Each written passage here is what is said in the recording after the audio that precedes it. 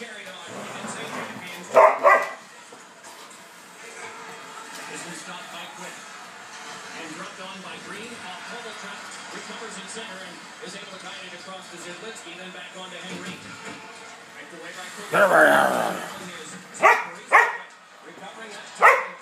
Mitchell back up for Dustin Brown, the captain, clear back as far as possible. Away from Kopitar. Floated it across to Zidlicky. They made a change up front. Patrik Elias is out there now. Burrowing in is Zubrus. Pulling free is Brown. Brown trying to send it by Elias. More jamming away, and it's squibbed out in front. A diving play by Zubrus, but a lift back down by Kopitar. One shot on goal by the Devils on this power play. None by the Kings shorthanded. Brought back ahead in the last 50 seconds of this power play. Zubrus let one that has to be corralled at center ice, fresh from the bench.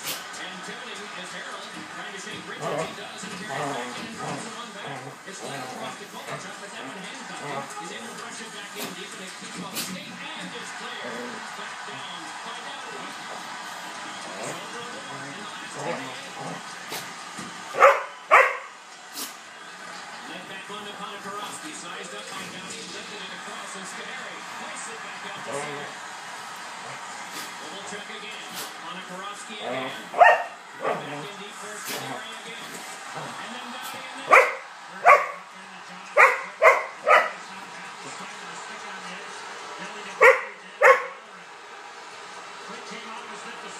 Doughty, and then decided to go back through the middle, through the crease, and he lets get